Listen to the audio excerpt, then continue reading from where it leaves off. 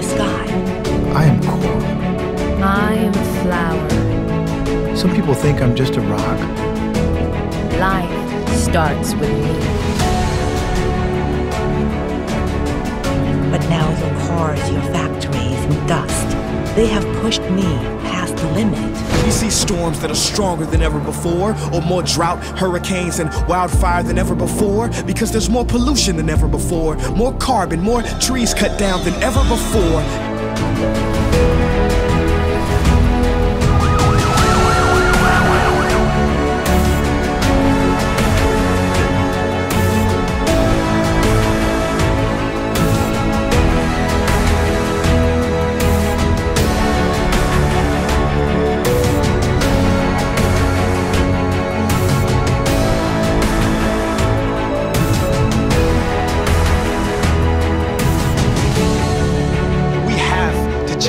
This. We must change this. We can change this. And the changes we make do not require a sacrifice of being disconnected, isolated, or unhappier. No. We solve problems not by making things worse. We are inventors, creators, problem solvers. This is the future that you and I deserve, the future that we must demand. As expected, of the economic activity has entailed a decrease in the emissions of the pollutants and an improvement.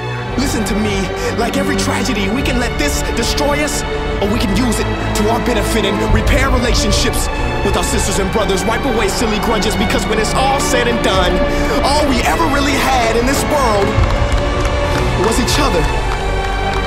So, yes, let's flatten the curve and expand our hearts. May we use these tragic moments to finally wake up to what's important. Right now, tell someone that you care for them. Yes, right now, tell them that you cherish them. If they are not in the same room, ring them up and tell them you will always be there for them. Because together is how we will rise above. The only vaccine for this F virus and every other virus is love.